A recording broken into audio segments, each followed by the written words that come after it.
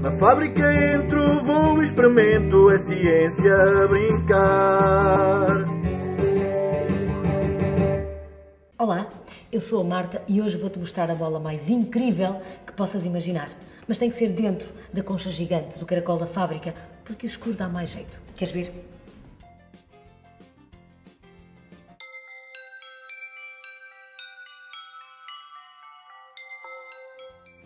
E vais ver, quando fizeres a tua em casa, vais poder dizer que tem eletricidade, luz e estados físicos da água. Vais fazer sucesso.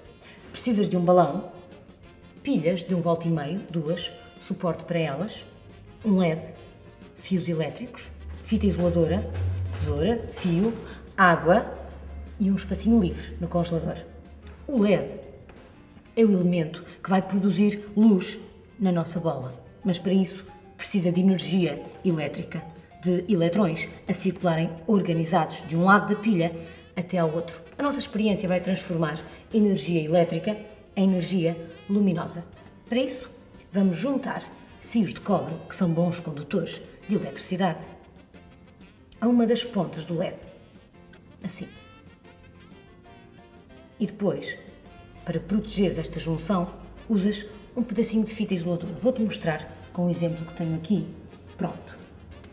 Um fio em cada ponta do LED, bem unidos, protegidos, cada um com fita isoladora. E depois os dois juntinhos assim. A eletricidade precisa de um caminho para que os eletrões circulem ordenados. Eletricidade é isto: partículas invisíveis a circularem organizadas de um polo negativo da pilha até ao outro lado, ao polo positivo. Mas para o circuito funcionar, temos que ter uma fonte de energia elétrica que forneça os eletrões. No caso da nossa experiência, as pilhas, as duas pilhas de um volt e meio cada uma, temos um suporte para as segurar.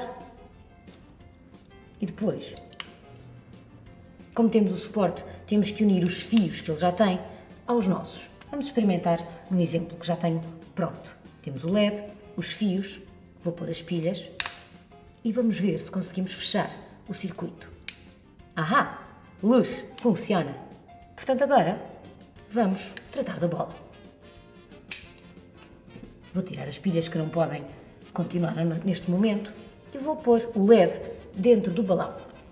Enchemos com água na torneira, seguramos bem com a parte estreita, bem enfiada na torneira, enchemos até nos parecer que vai dar uma bela bola e depois atamos bem para que a água não escape. Aqui, como não tenho torneira, vou-vos mostrar como é que fica. Assim. E está mole, porque a água está no estado líquido. Vamos pô-la no congelador. Com o fio a que a sujeitamos, a bola vai passar do estado líquido ao sólido, mas isso demora muitas horas. Vou mostrar-vos como é que fica. Dura, está no estado sólido. E agora, com uma tesoura, retiramos o balão. É fácil. Depois puxamos, desmancha-se muito facilmente. Com a tesoura cortamos os fios e agora vamos ver se temos ou não luz. Vamos completar o circuito. Juntar os fios aos polos da pilha. Pelo polo negativo saem os eletrões, pelo positivo entram. Ahá! Funciona, tal como a nossa outra. Vamos experimentar no escuro.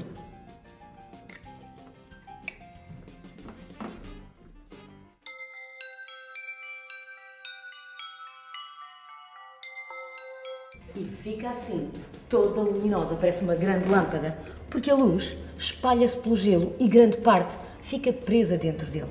Experimenta fazer a tua bola elétrica aí em casa. Certifica-te que tens todos os materiais de que precisas e, se não, faz a tua lista de compras rapidamente para fazeres a tua bola de gelo. Até à próxima. Brinca com ciência aí em casa.